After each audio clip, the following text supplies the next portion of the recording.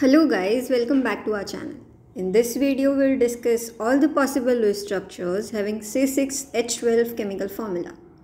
Now in organic chemistry, there can be many possible compounds having same formula, same number of atoms but different structural arrangements or you can say different connectivity.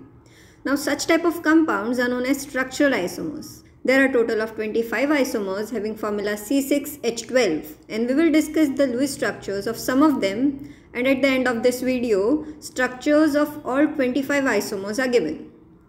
For that, let us count the total number of valence electrons. We have 6 carbon atoms having 4 valence electrons and 12 hydrogen atoms having 1 valence electron. Now that gives us a total of 36. For the arrangement of atoms, we will arrange carbon atoms in a loop-like structure and attach two hydrogen atoms to each carbon.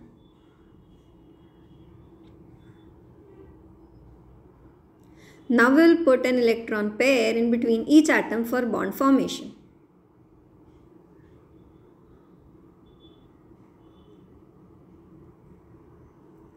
This is the final Lewis structure and the name of this compound is cyclohexane. This is a class of cyclocompounds in organic chemistry. Next few structures are of the same class. For the next structure, we will arrange 5 carbon atoms in a loop-like structure and attach this methyl group that is CH3 group to any one carbon atom. And then we, uh, and then we have arranged the remaining hydrogen atoms to carbon atoms. After doing that, we have placed electron pair for bond formation that gives us a final Lewis structure of methyl cyclopentane. We did the same thing in the next structure that is 1-ethyl cyclobutane where we attached ethyl group to a cyclobutane moiety. Now this next Lewis structure is of 1,2-dimethyl cyclobutane. It's quite simple structure and it's easy to draw its Lewis structure if you remember its connectivity. Now if we change the position of this, this methyl group here, it will give us a whole new compound namely 1,2-dimethyl cyclobutane.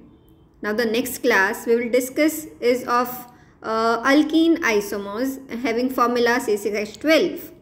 Now the first one being hex 3-ene. Again very simple to draw the Lewis structure if you remember the connectivity.